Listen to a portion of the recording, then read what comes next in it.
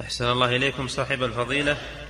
وهذا السائل يقول ما حكم الأب الذي يدع أولاده مع تجارته وهم صغار في السن؟ لا حول لهم ولا قوة.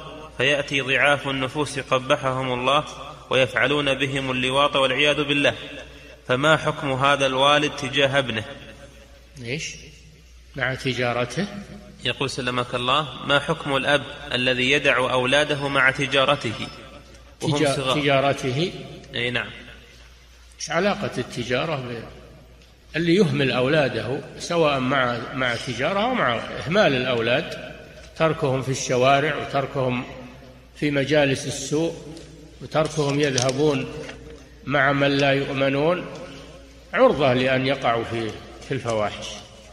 عرضة لأن يقعوا فالواجب على الوالد أن يرعى أولاده مثل ما يرعى راعي الغنم. غنمه يتابعها وينظر إليها ولا يهملها. ومن رعى غنما في أرض مسبعة ونام عنها تولى رعيها الأسد.